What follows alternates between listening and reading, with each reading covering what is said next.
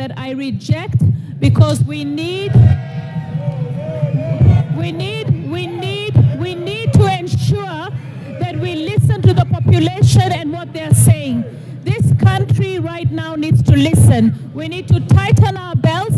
We need to live within our means and we need to address corruption.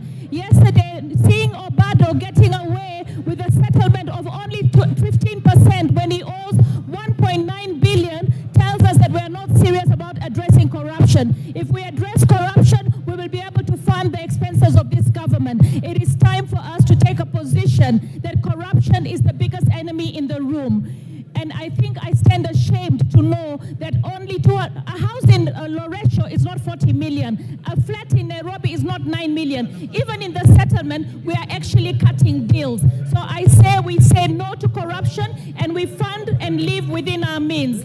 I reject the 2014 finance bill. Thank you.